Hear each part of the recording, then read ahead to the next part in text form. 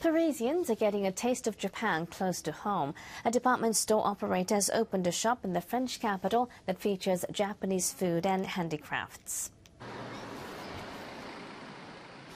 The Japan store is operated by Isetan Mitsukoshi Holdings. It sells items ranging from an $8 sweet to a tea box that sells for more than $20,000.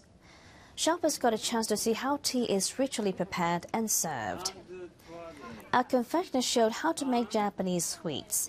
People joined a class to try their hand at making the tasty treats.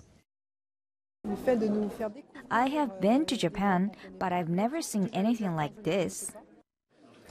Isetan Mitsukoshi wants to expand into what it sees as promising new markets in Europe. The launch of the store comes after the company closed an outlet in the city six years ago.